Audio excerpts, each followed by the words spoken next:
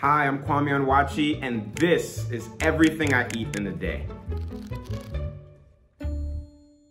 So the first thing I do when I wake up is usually get a glass of water. Usually have like a cup of water next to my bedstand. I'll just drink that before I head downstairs to the kitchen. After I have my glass of water, I'll meditate. I'll do some stretching and then I'll do like 30 minutes of cardio on the treadmill. Just getting my mind right. I'll play meditation music, and just spend some time with myself. I'm not really a breakfast person. If I am really hungry, it's normally leftovers. I'll heat up some leftovers.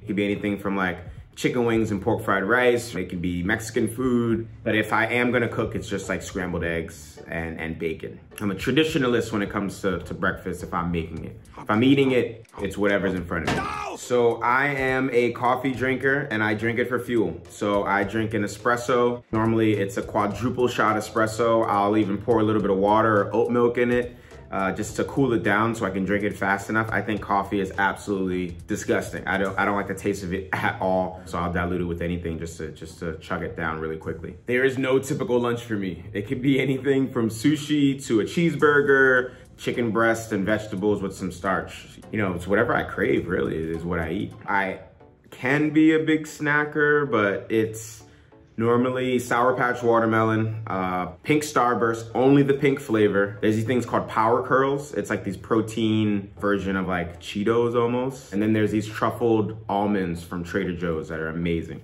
Typical dinner, it could be anything.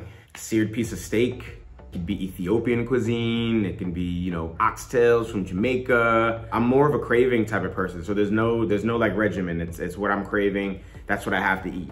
I'm not really a dessert person, honestly. It's just ice cream, if anything, just a scoop of ice cream. Jeni's ice cream. Jeni's is it for me for ice cream. It's just solid. It's just, it's so creamy. I love the Brambleberry Crisp. They have this everything bagel ice cream flavor that is surprisingly delicious. I have like six flavors downstairs right now in my freezer and I'll have a spoonful uh, every night. I don't like bitter flavors. So frisee, radicchio, broccolini, coffee, bitter melon. I don't like bitter flavors at all, so I try to just stay away from them at all costs. I gotta always have some sort of chilies, some citrus, garlic, thyme. Those are the things that I, that I have to have at all times. Yeah. Whew, that's the tough, this, this is where the fighting happens. Uh, my favorite food city's gotta be New York City. It has everything you need. There's so many different restaurants. You don't even have to go to the same restaurant again. Whatever food you want, whatever flavor you're going for, there's something there for you in New York City. My go-to comfort meal is chicken wings and pork fried rice from the Chinese shop. It's timeless. It just reminds me of home. You know, we have a lot of these Chinese takeout spots in New York City in all the boroughs. So it's something that if I'm feeling sad or I'm feeling really happy, that's the dish that I always have to have. Well, I can't talk about the food on Top Chef. We know that. Good try, good try. But I think just the, the diversity that was there, it was something that I haven't seen before.